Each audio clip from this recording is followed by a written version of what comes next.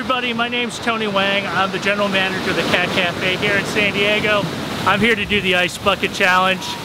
Here in California, we're suffering from a severe drought, so I didn't want to use any drinking water, but as you can see behind me, we've got a great source of alternative water to use. Uh, the ice from this is from water I captured while taking a shower. You can do the same thing, use it for watering your plants, uh, flushing your toilet, and mopping your floors. I'm challenging the Cat Cafe owners in New York, Cincinnati, and Toronto. Ladies, you have 24 hours.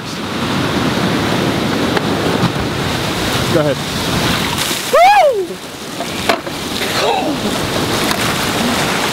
That's cold.